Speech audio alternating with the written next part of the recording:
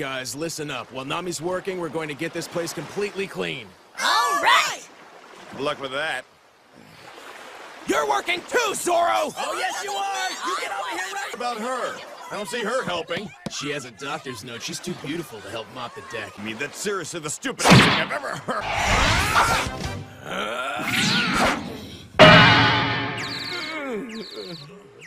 Didn't I tell all of you to